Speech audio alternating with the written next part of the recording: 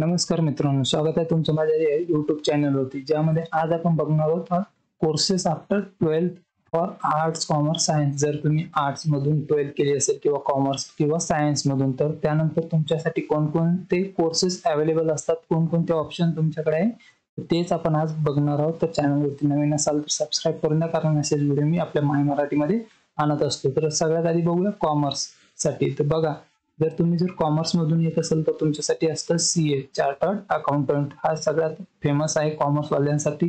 त्यानंतर बघा, दुसरं ऑप्शन आहे बी कॉम करू शकता तुम्ही. आणि बी कॉम नंतर तुम्ही एम कॉम पण सुद्धा करू शकता. त्यानंतर बघा बी सी ए पण तुम्ही करू शकता. बी सी ए सगळ्यांसाठी सेम असतं.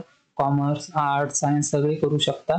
त्यानंतर डी एड पण तुम्ही करू शकता जर तुम्ही कॉमर्स मधून आलेला असाल.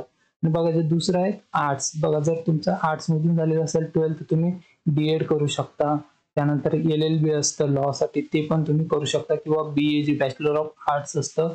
जर तुम्हाला M P S C U P S C जर द्यायची असेल गव्हर्नमेंट एक्झाम तर तुम्ही बी ए करू शकता आर्ट्स नंतर. त्यानंतर तुम्हाला त्या एक्झाम देता येतात.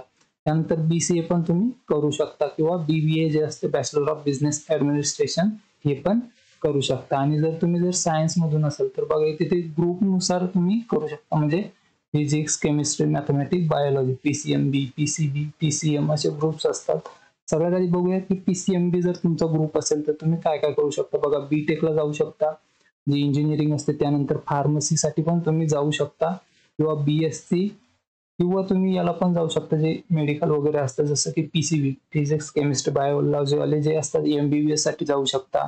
किंवा बी एस सी नर्सिंग असतं B M S B H M S असतं. त्यासाठी तुम्ही जाऊ शकता. किंवा जर पी सी एम असेल तर तुम्ही बी बी टी जे इंजिनिअरिंग आहे त्यासाठी जाऊ शकता. B S C B C S हे जे तुम्ही आहेत करू शकता. किंवा जर तुम्ही पी सी एम मधून असाल ट्वेल्थमध्ये तर तुम्ही डायरेक्ट सेकंड इयर इंजिनिअरिंग डिप्लोमासाठी जाऊ शकता. जर तुम्हाला डिप्लोमा करायचा असेल तुम्ही डायरेक्ट सेकंड इयरला जाऊ शकता. पी सी एम जर असेल तुमचं किंवा पी सी एम बी